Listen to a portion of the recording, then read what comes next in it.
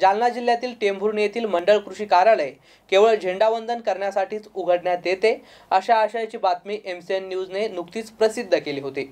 या बातमीची दखल घेत टेंभुर्णी येथील मंडळ कृषी कार्यालय आज दुपारी उघडण्यात आलेत.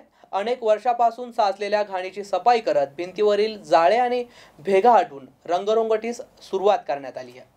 टेंभुर्णी येथील मंडळ कृषी कार्यालयात एकूण बारा कर्मचारी दोन पर्यवेक्षक एक मंडळ अधिकारी असे पंधरा जणांचे एक खिडकी मंडळ आहे. एम सी एन न्यूजने येथील तुघलकी कारभाराची बातमी नुकतीच प्रसिद्ध केली होती. या बातमीचा योग्य परिणाम झालाय. कार्यालयात सतत गैरहजर राहणारे अधिकारी कर्मचारी खडबडून जागे झाले आहेत.